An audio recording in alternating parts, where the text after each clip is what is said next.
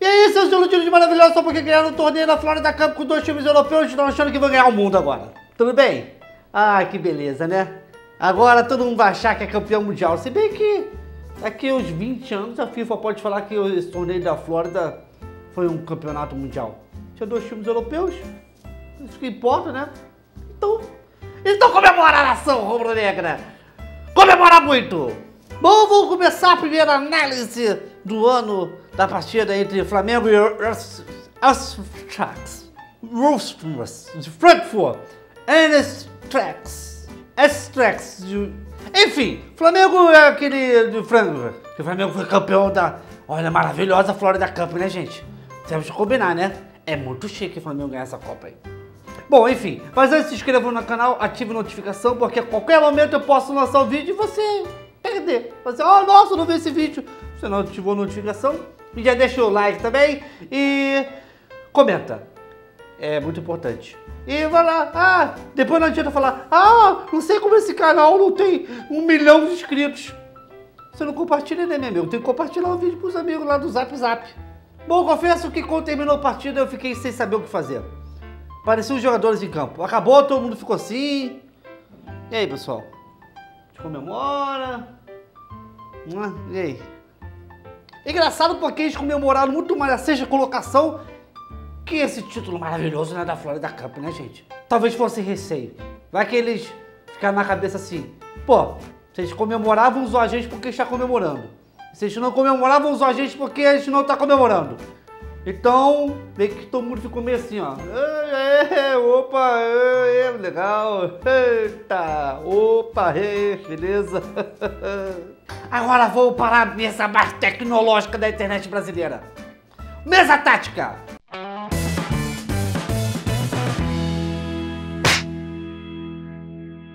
O Flamengo começou batendo com o goleiro César, do lado direito estava o Pará, aí depois estava o Rodolfo, depois estava o menino do condomínio, o Rodrigo Caio e o Trauco. Na frente estava o Pires da Motinha, Pires da Motinha. E depois estava o, o Ronaldo. Vem pra cá, Pires. Eita. E aqui estava o Ronaldo. Na frente estava o Jean Lucas. E no lado esquerdo estava o Thiago Santos.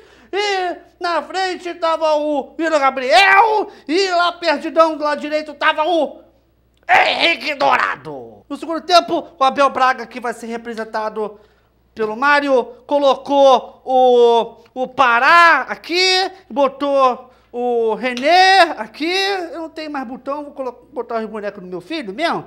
Aí depois botou o Cuejá, Cuejá, esse aqui ó, Cuejá, ó. Cuejá, botou o Arão, botou o Diego, o Everton. Não, o Everton Ribeiro tá careca, ele não pode ser esse aqui não. Assim, ó. Isso, é o Everton Ribeiro, só um pouquinho de cabelo. Everton Ribeiro e botou o. Não, o Uribe. Uribe, não! Uribe aqui e o Vitinho aqui, ó. Aí, ó. Será que esqueceu alguém? Não, né? Bom, esse foi o time maravilhoso, campeão da Florida Cup 2020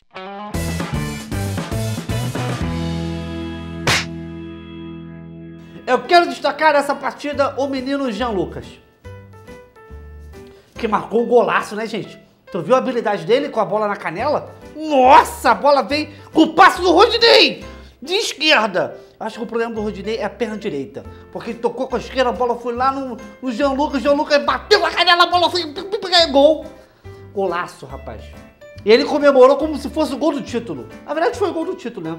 O mais engraçado foi no intervalo. A excelente pergunta que a, que a repórter fez pro Jean Lucas. Foi mais ou menos assim, ó. Estamos aqui com o jogador Jean Lucas. Eu vou fazer uma pergunta para ele. Você tá feliz em jogar na sua posição? Não, eu não tô feliz não. Eu queria mesmo jogar no gol. Mas o Abel Braga não deixou, então fazer o quê, né? Tem que jogar na minha posição de origem. Eu não queria não. Bom, tá aí o Jean Lucas.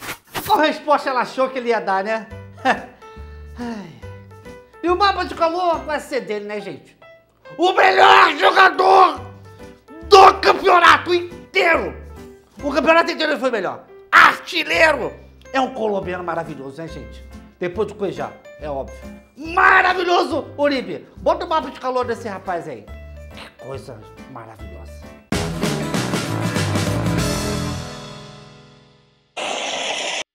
Galo vai ser desse colombiano maravilhoso Uribe, né?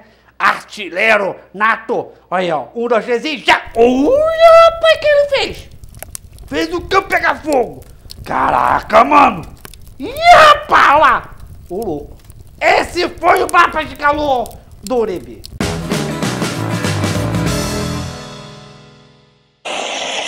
Agora, depois desse campeonato maravilhoso, o Flamengo parte para outro campeonato internacional, que é o Guanabara Cup. Vai enfrentar times tradicionais como o Bengu, e o Vasco, e o Botafogo. Eu acho que esse time maravilhoso tem totais condições de conquistar a Guanabara Cup. E depois a Real Cup, sem dúvida nenhuma. Desculpe, eu estou muito mal acostumado com esses jogos internacionais.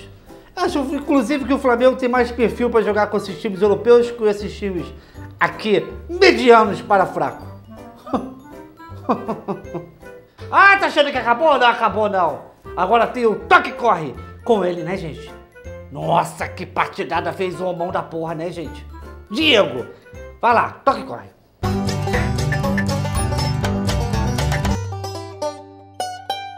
Todos sabem que eu tenho uma proposta e tenho um imenso carinho pelo Flamengo. Minha intenção é continuar e vamos conversar ainda. Mas vai dar tudo certo. Eu tenho uma imensa paixão pelo Flamengo.